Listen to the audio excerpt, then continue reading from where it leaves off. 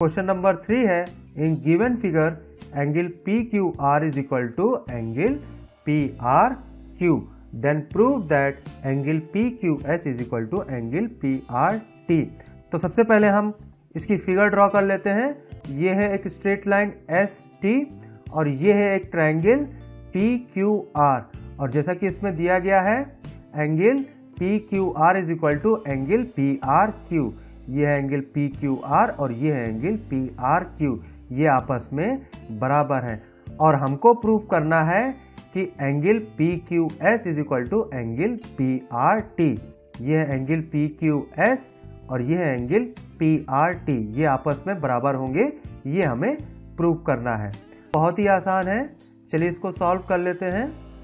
जैसा कि आप देख सकते हैं कि एंगल पी क्यू एस और angle P Q R linear pair angles हैं।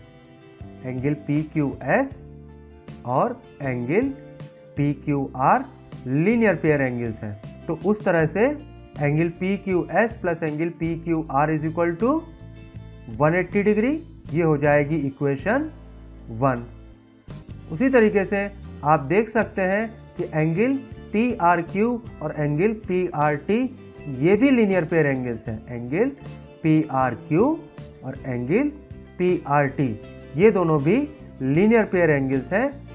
तो इस वजह से angle P R Q plus angle P R T is equal to 180 degree ये हो जाएगी इक्वेशन टू अब दोस्तों आप देख सकते हैं कि equation one is equal to equation two और इक्वेशन वन क्या है? इक्वेशन वन है P Q S plus P Q R तो यहाँ पर हम लिख लेंगे angle P Q S plus angle P Q R is equal to equation two equation two क्या है? Angle P R Q plus angle P R T left hand side हम वैसे ही उतार लेंगे। यहाँ पर देखिए एंगल पी आर क्यू है। पी आर क्यू की जगह पे हम लिख देंगे P Q R angle P R Q की जगह पे हम यहाँ पर पी क्यू आर लिख देंगे। लेकिन ऐसा हम क्यों लिख देंगे?